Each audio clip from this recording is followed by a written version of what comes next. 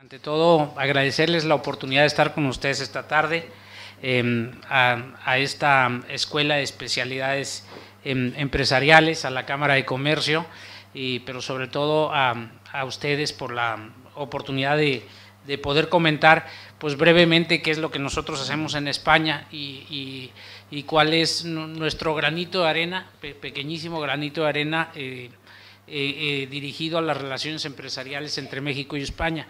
Em, GDP Abogados y Consultores se presenta hoy en los dos mercados como primera firma mexicana con estructura propia en ambos países, em, cuyos servicios están dirigidos de forma exclusiva a los procesos de internacionalización entre México y España.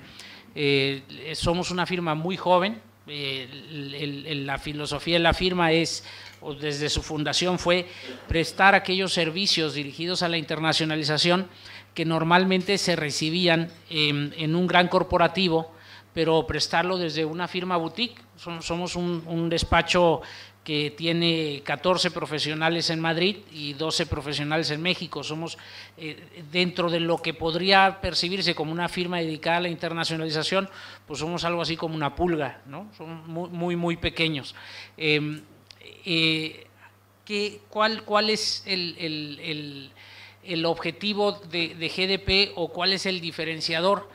Pues eh, creemos, eh, parte de, nuestra primera hipótesis de trabajo es que entre los dos países y como entre España y el resto de América Latina hablamos el mismo idioma pero no el mismo lenguaje.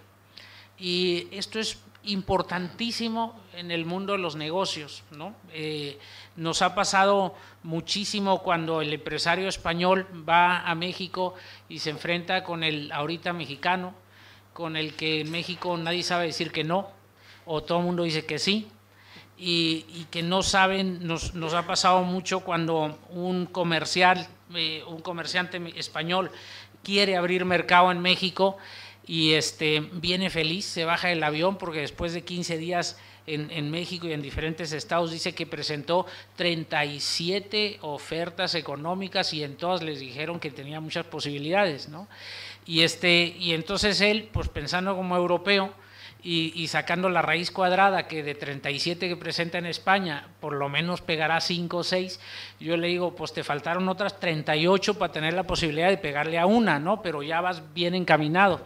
Y, muchas veces esto tiene que, estas diferencias culturales, el, hablar el mismo idioma pero no el mismo lenguaje, hacen eh, que un negocio tenga éxito o, auguran el fracaso de ese negocio, sobre todo si le ponemos pues, más eh, elementos eh, este, alrededor que pudieran hacerlo fallar, pues como lo es un proceso tan complejo como la internacionalización. Entonces, em, el valor agregado de GDP Abogados es, o pretendemos que sea, em, el, convertirnos en un despacho de abogados tradicional, como cualquier otro despacho corporativo que atiende todas las ramas alrededor de la actividad empresarial, con ese componente cultural de manejar en ambas oficinas o de conocer ambos marcos jurídicos y de conocer ambas culturas jurídicas. ¿no? Todavía no suele suceder que eh, alguno de los socios de México responde eh, jurídicamente eh, o con una opinión jurídica al, director del Consejo de, la, de la matriz española y este, em, a las 10 de la mañana que llega a su oficina el, presidente del Consejo en España, nos habla al despacho y me dice, oye, ya recibí el correo de Carlos de México, muy amable, pero ¿qué quiere decir? ¿No? Y, este, y, la realidad es que este, termina uno diciéndole al presidente del Consejo, hombre, yo también ya lo leí, dice que no te preocupes, que todo va a salir bien, pero o la cosa está medio difícil, ¿no? Este, eh, estos pequeños detalles eh, en, nuestra experiencia han, aportado, eh, empezamos, nuestra primera factura fue este, en marzo, febrero o marzo del 2008, o sea, somos muy, muy jóvenes y justo antes de la crisis para nosotros fue como un sentimiento, me pidió, me pidió Eduardo, y perdonen que haga un paréntesis, que más que hablar de perdón, que más que hablar de, la estructura jurídica societaria de México, me abocara un poquito al proceso de, gestación y de emprendimiento de la firma, ¿no? Pero no obstante entraré un poco a las reformas y a los procesos de internacionalización. Y, entrando en el tema, decir, que, ¿cómo sentimos nosotros el 2008? Pues la verdad yo sentí que Dios me vino a ver, porque eh, creamos una, un despacho de abogados en una pequeña oficina en Madrid, eh, con, dos profesionales. Este, nuestra primera factura era de febrero del, del, 2008 y para finales del 2008 teníamos 22 profesionales. Entonces, eh, llegamos a tener la percepción de que, de que esto que pensábamos de las diferencias culturales este, era, era, pues era real, ¿no? que, que la empresa mexicana valoraba que lo recibiera un mexicano en España, que le entendiera que si aquí decías ahorita es ahorita, que si este, una persona en España te dice que le interesa tu producto o tu servicio y que le presentes una propuesta, más te vale que hagas la propuesta bien y seria porque ya llevas el 50% del camino adelantado. Y bueno, pues esto eh, nos llevó a que entre el 2008 y 2010 implantamos 37 empresas mexicanas en España.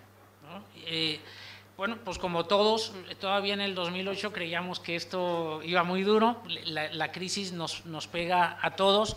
Eh, es cierto que a, mi generación y a la de Lalo, que no está tan viejito como parece, este, nos, llaman, nos llaman la generación de la crisis en México, porque nosotros vivimos, mi generación, tres crisis antes de la del 95, eh, con el mayor de los respetos y, y este, y, pues, y pesar por lo que se vive actualmente en España, el 95 fue muy similar, más o menos, a lo que ustedes están viviendo ahora. ¿no? Entonces, cuando, cuando los indicadores a finales del 2008, eh, principios del 2009, eran de que venía una de buen tamaño y, que inclusive en el exterior se hablaba de que venía una pues del tamaño de la que habíamos venido, vivido en el 95, eh, creo que, llegamos a tener una percepción de que las cosas iban a estar este, pues bastante difíciles. ¿no? Entonces, para nosotros el 2010 eh, pasamos de ser un despacho especializado en implantar empresa mexicana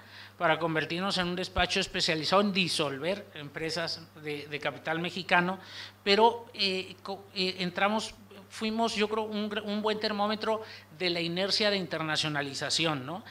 Em, recuerdo muy bien que en el 2008 presentabas México como, como, un destino estratégico para la internacionalización de las empresas españolas y, muchas no le daban importancia. Todavía había tanto negocio aquí o había tanto negocio en el resto de Europa que te decían, ¿y yo a qué voy a México con tanto narcotráfico, corrupción, delincuencia, etcétera? O sea, no era, no era atractivo eh, eh, entonces, pues yo te podría decir que por cada, les podría decir que por cada cuatro empresas mexicanas que yo traía a España, llevaba una española a México, ¿no? Era, todavía no.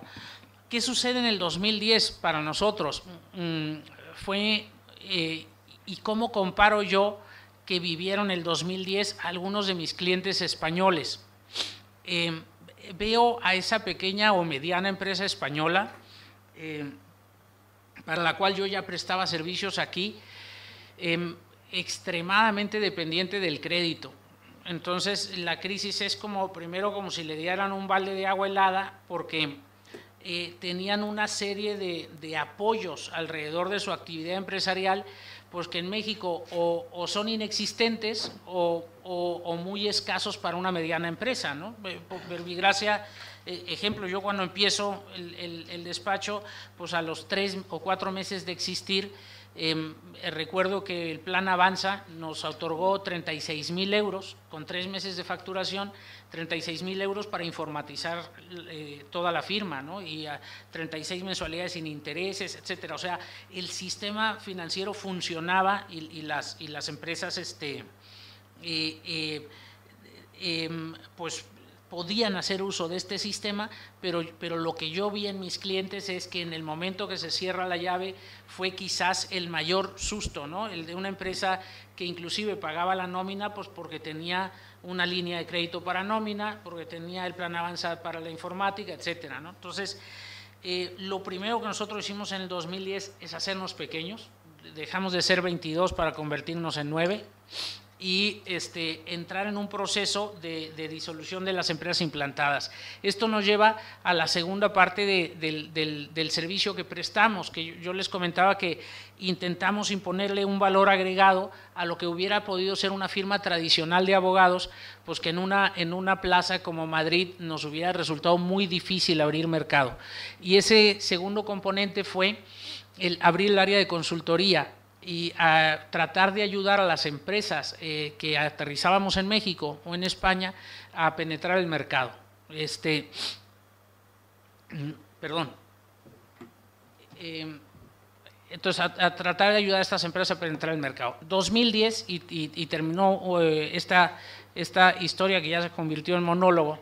2010 eh, fue un, un año de, de achique, de, sobrevivencia, tanto para algunos de los grupos mexicanos que teníamos aquí, para los grupos españoles que ya nos habíamos llevado nosotros a México también, porque en, un proceso de internacionalización la filial come de la, de la matriz hasta que no está produciendo y, las, y a la matriz aquí en España, pues normalmente lo que le pasó es que se quedó sin liquidez, ¿no? Entonces, eh, eh, vivimos eh, traumáticamente pues esta necesidad también de nuestras filiales españolas en México por conseguir el primer contrato a la brevedad posible, porque lo que le decía la matriz en Madrid es, si, o sea, no, ya no quiero que ganes dinero, lo que quiero es que no me cuestes. ¿no? Entonces, el 2010 fue un periodo así. A partir de finales del 2010 y principios del 2011, nosotros vivimos una etapa eh, muy interesante.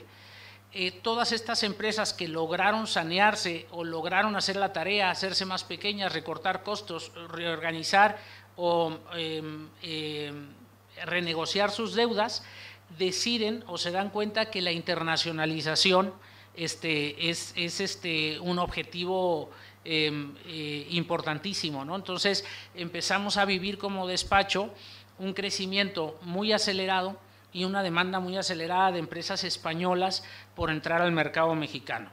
Hoy, por hoy, como firma, insisto, como somos una firma pequeña y estamos prácticamente llevándonos entre dos y tres empresas por mes. Para nosotros eso es un volumen eh, muy importante.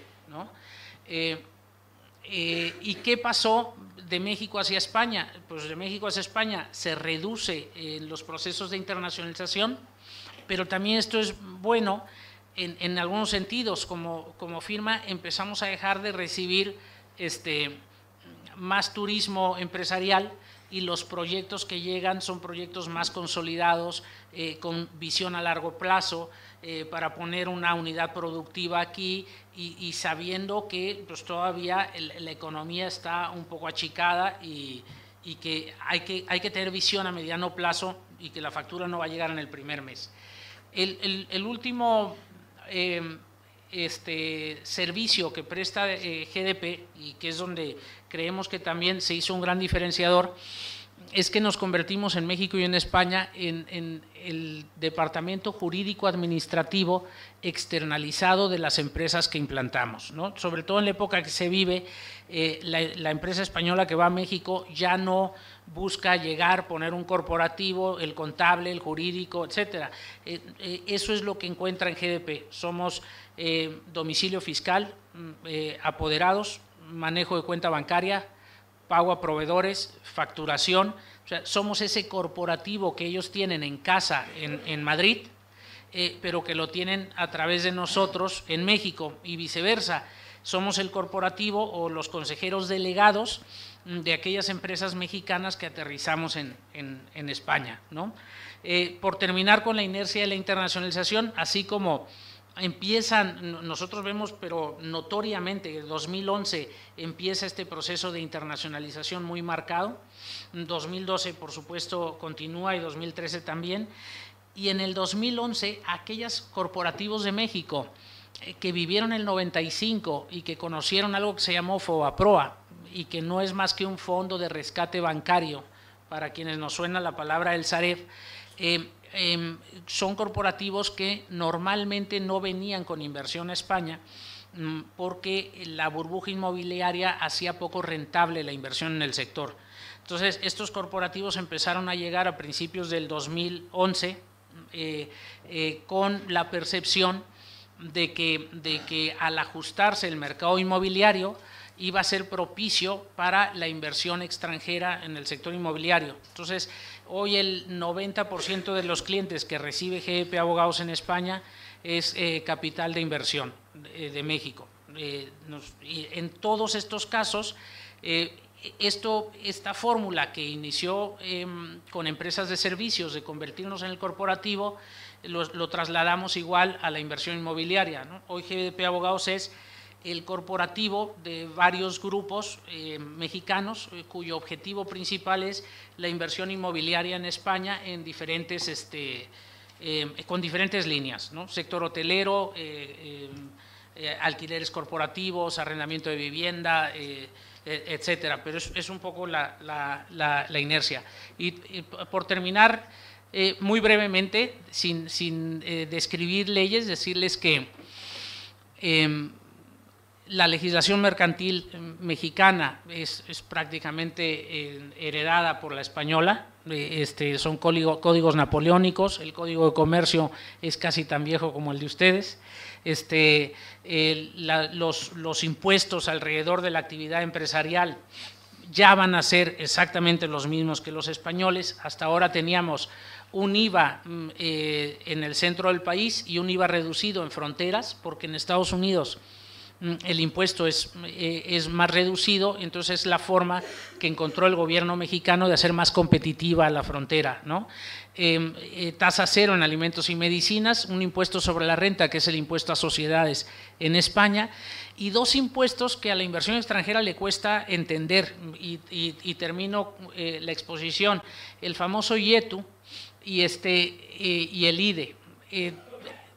¿Por, qué existen estos impuestos? Pues porque México mm, todavía, con todo y que ha entrado en un proceso en los últimos 15 años de modificación de su estructura eh, legal y de, y de, hacer una economía cada vez más abierta para la inversión extranjera, todavía tenemos un serio problema de captación fiscal. Entonces, mientras que el promedio, por ejemplo, de los países de la OCDE, entre ellos España, eh, el, porcentaje de, de, la captación fiscal frente al PIB en España creo que anda alrededor del 33%, en, México estamos hablando del 12 o del 13. Entonces tenemos un serio problema de captación de recursos a través de impuestos.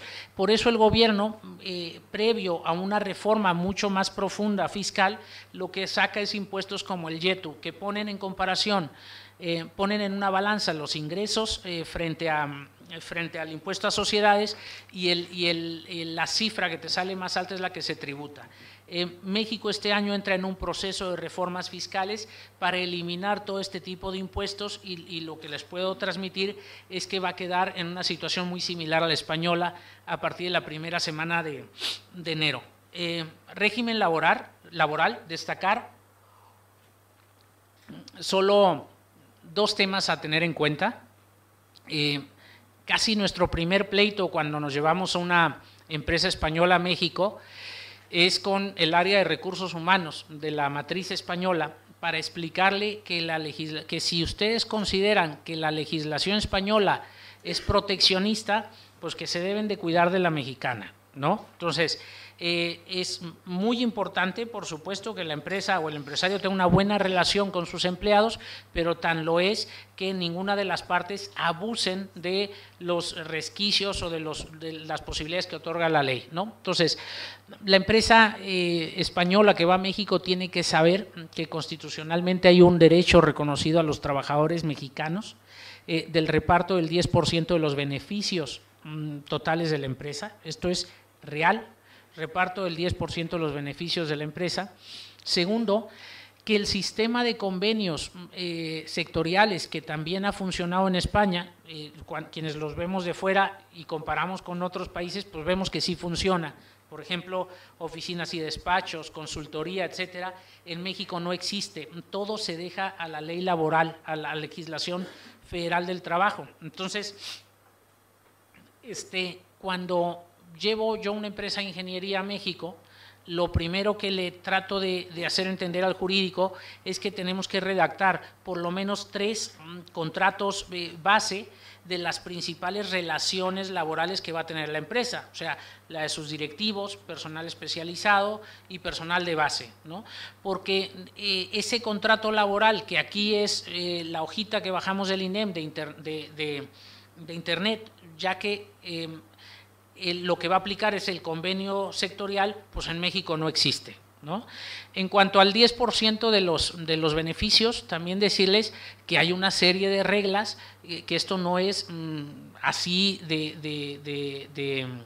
directo, ¿no? O sea, la empresa tiene una serie de beneficios eh, durante sus primeros años de producción, eh, ante todo están eh, prioritarios créditos, pago de deudas fiscales, etcétera, pero cuando ya la empresa tiene toda una serie de beneficios este, y cubiertas todas estas deudas, pues viene el, el reparto de beneficios. Desplazamiento de trabajadores y directivos, ya lo comentó el compañero, no, no entramos más, abundar solo en que es, importante también destacar que existe un convenio de seguridad social entre México y España.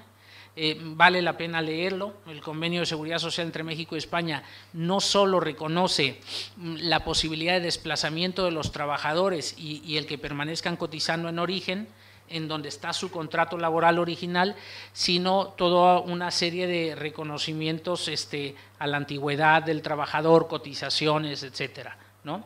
E, este es el conjunto de reformas que están terminándose ahora en México. Mm, eh, con este conjunto de reformas, el gobierno estima eh, que termina todo un proceso de 15 años para abrir la economía Em, a la inversión extranjera. Eh, había áreas todavía restringidas como la parte de telecomunicaciones. Con la reforma actual se abre la posibilidad de un nuevo canal de televisión. Eh, la reforma energética pues, que termina esta, esta semana pasada y la reforma fiscal que les comentaba. ¿no? Eh, el proceso de, internacionalización, que lo, empezó un poquito la casa por el tejado, es lo que hace el segundo brazo de GDP Abogados, es el área de consultoría y es lo, eh, lo que tratamos de hacer es este, pues convertirnos o conjuntamente con la empresa hacer la, la hoja de ruta durante su proceso de internacionalización. Eh, muchas veces, y creo que tenemos aquí a, alguna eh, compañera de, ex, exfuncionaria de Promo Madrid, y, siempre con quienes además trabajamos este, con mucha ilusión, y me preguntan si, si esto que hacemos nosotros compite con Promo Madrid, con Pro México, con el ISEX, pues para nada, ¿no? Yo jamás tendría el alcance, o nuestro grupo jamás tendría el alcance y las posibilidades que tiene la institución y, y de abrir las puertas que tiene, pero la institución también atiende los requisitos y las solicitudes de 20, de 30 empresas, y nosotros lo que tratamos es que cuando una empresa, por ejemplo, ya tocó el mercado con el ISEX, o en su momento con Promo Madrid en este, eh, o, con, con, apoyos institucionales y ya ha validado que, que, hay potencial de negocio en México, entonces ahí es donde creemos que podemos ir de la mano con él pues para encontrarle el partner, para ayudarlo a penetrar el mercado más rápido y sobre todo en la cultura empresarial. ¿no?